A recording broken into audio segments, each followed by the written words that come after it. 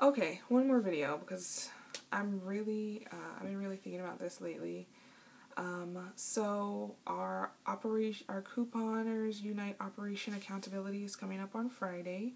I don't know if that's still what we're calling it. Um, so if you haven't checked out Pinching Pennies' videos about it, here's what we're gonna do.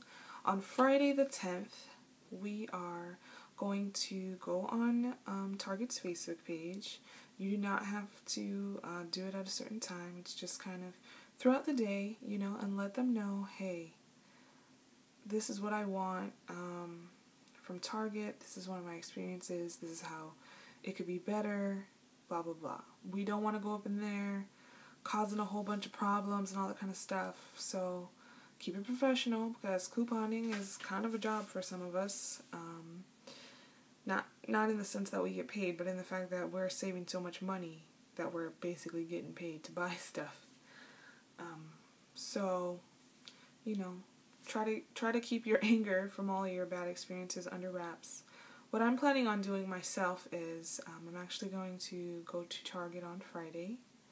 I'm going to attempt to buy some items, hopefully they're in stock, and use some coupons.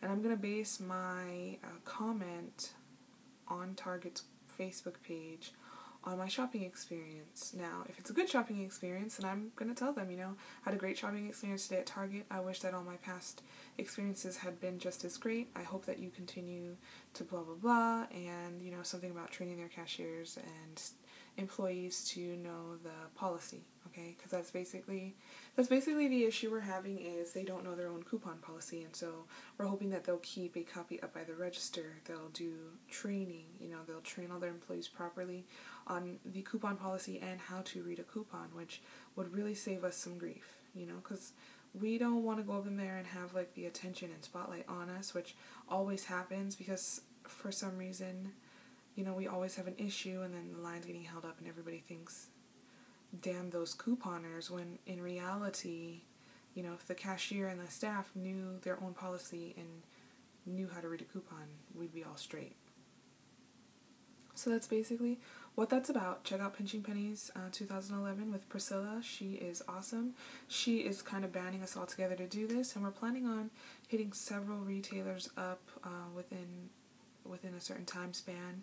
I hope that on that list is Safeway because you guys all know my Safeway drama and issues with Safeway, and I just really want them to teach their employees the coupon policy and how to read a coupon. That's all. That's all I really want. My life would be so much better if if that was the case. And to not assume that because somebody wants a bunch of POM Wonderful juice that I'm part of a terrorist cell, because apparently that's a safety threat, that I want more than six pomegranate juices. So, um, that is about it. I am off to clean up my kitchen and um, clean up my entry way because we are having some playmates over, those little kids that I made those Valentine's treats for. So, I will see you guys later. Oh, and um, make sure you check out Pinching Pennies and um, you'll see that there's quite there's quite a few videos about it.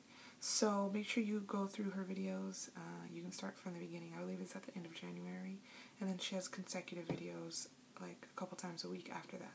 All right, bye guys.